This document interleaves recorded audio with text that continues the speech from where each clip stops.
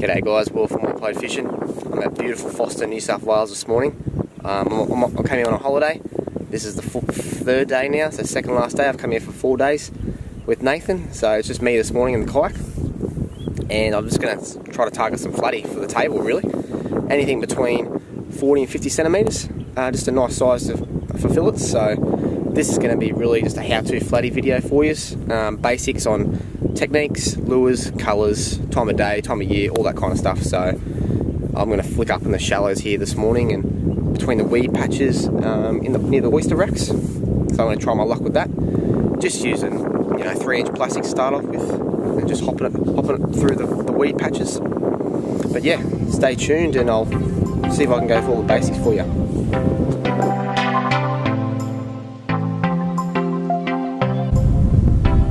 What you want to be looking for is probably most importantly a drop off um, where it goes shallow to deep really um, quickly. Um, weed, weed beds, so you can see there's a, weed bed just up there, I'll, I'll, fish around that. Anywhere where they can sort of ambush their prey. So around cockle beds, behind cockle beds, on the bottom of the drop off, around the weed, yeah, anywhere they can just ambush. So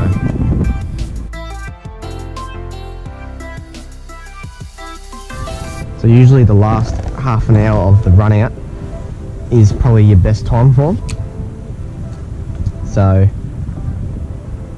still catch them any time of the tide, but just your better times I've found are half an hour to an hour of the run out, even off the run in. So now for time of year, definitely the warm months are your better times. Still catch them in the cooler months, but in the cooler months they'll hang a bit deeper won't feed as much.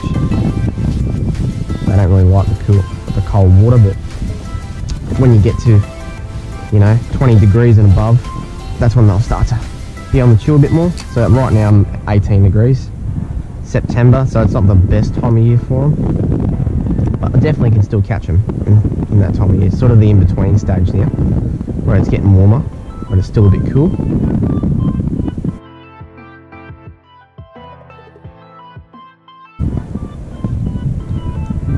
Now for lure selection, I have got on a natural lure this morning. The um, Berkley Power Bait Pulse Shad. They send out a really nice um, vibration when you hop them. Their tail wobbles really nicely. I'll just show you real quick while I'm bringing it in. Get that weed off it. So that's him there. He's really natural. He's about a three inch plastic. Good size for all round flathead, especially if you want to keep a couple table table size. I've just rigged that with a six, one six at the moment, and that is a 2.0 hook. I would usually go a quarter, but I want to fish a bit shallower this morning first, and I think I'll drop to a quarter um, when it gets a bit, the sun gets a bit higher.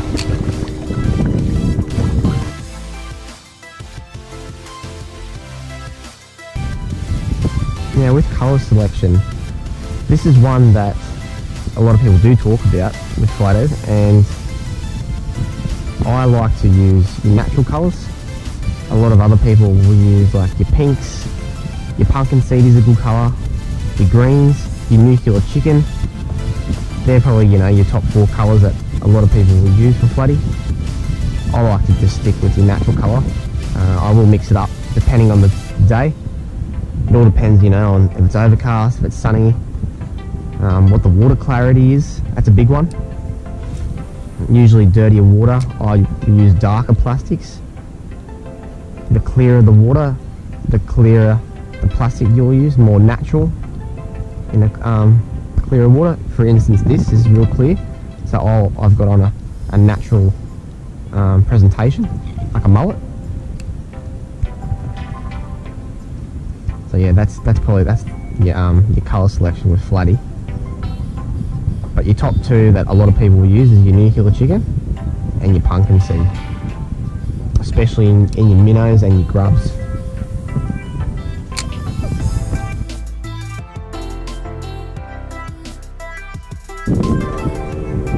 Now technique.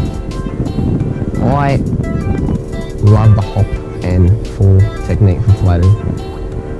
I'll usually cast out, let it sink to the bottom. Watch your line. So watch your line.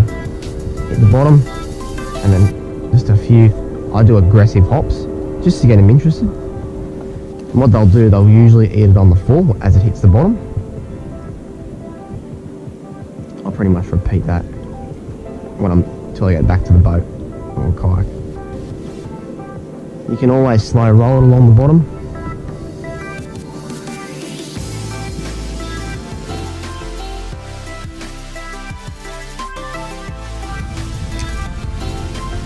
Now for scent, scent is very effective, especially when it's tough fishing. I use your, um, your Pro-Cure uh, scent. It's very, stays on your plastic for a long, long time. It's like a super gel, they call it. And I've got that in the mullet, in the mullet flavour. So I've put that on the natural looking mullet um, plastic.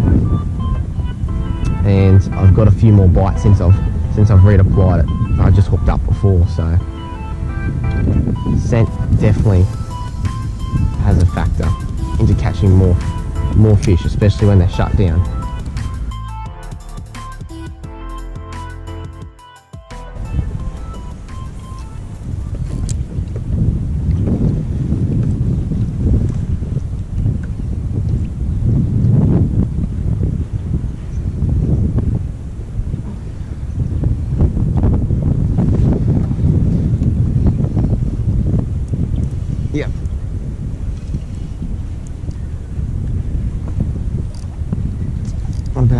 Reckon, this one? Don't snap me. Don't snap me. If I get snapped, it's a learn a lesson. Not to use... He's the best flathead. He's not massive, I don't think, but he's certainly better than the other ones. He's a bit better.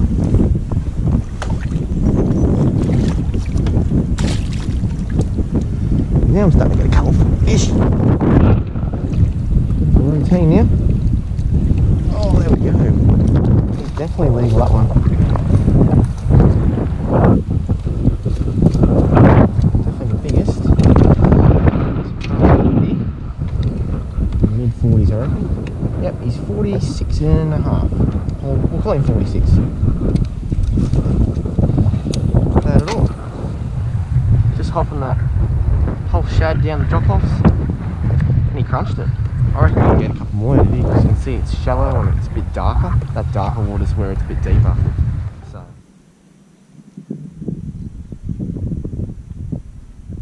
Yes. got him. Hey, Is he a bit better? That's a big one. Oh really? Yep. Like a fit? Tall, I reckon. Oh really? Is that big? Oh, here we go. Gonna come over, come around, see, see if I can help you out.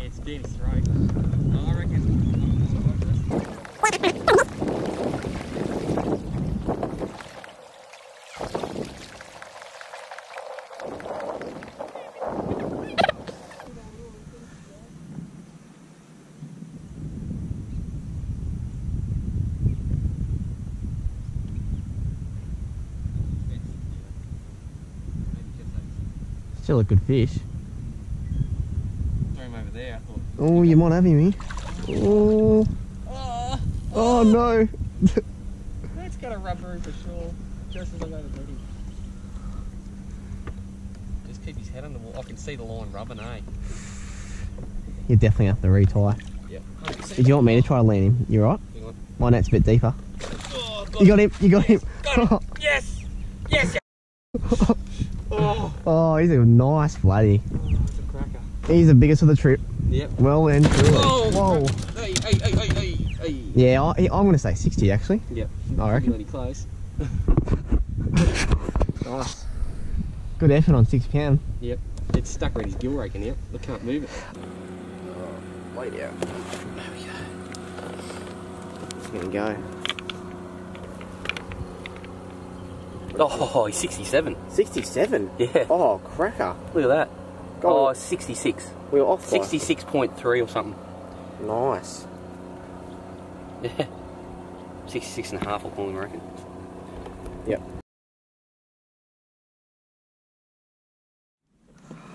It's just such a good drop off just here. It's amazing, isn't it? And it goes all the way down there, I reckon. Even if you just drift like this and just hop it. You just sit there, yeah. The second one I got was weird because I was just literally letting it go with the current, and then Yep. I lifted up, and it was like it was stuck in a certain spot, and I was like, yeah, I reckon one's grabbed it, it's just sitting on it, Yep. and then I felt him. Imagine coming here in summertime with this spot. Oh my gosh. Yep. How about that? Yeah, we're gonna get 50 flathead today. oh, this is just incredible. Where is he? There he is. Oh, he's he's a keeper. Didn't take long.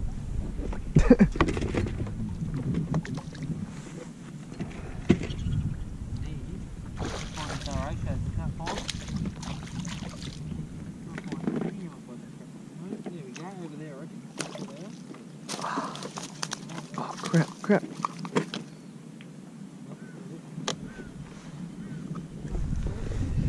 Yeah, this one's he's he'd be 45. This one.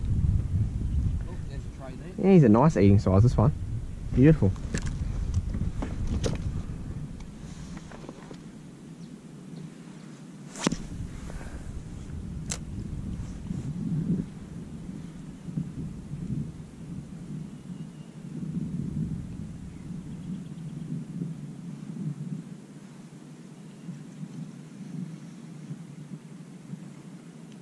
To rip through now.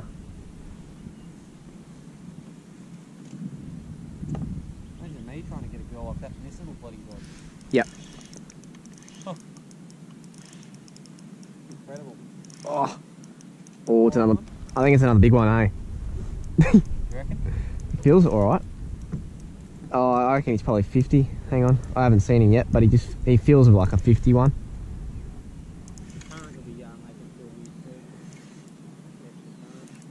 Yeah, he's not bad. Yeah? Yeah, he's he'd be um high 40s. Yeah, okay. Yeah, he'd be probably just 50. There he is. Oh, Oh, yeah? Oh.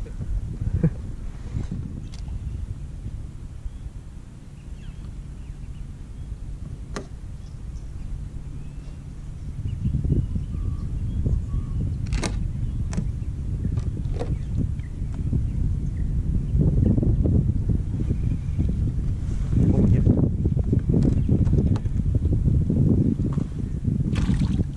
That's a bit- little bit better one.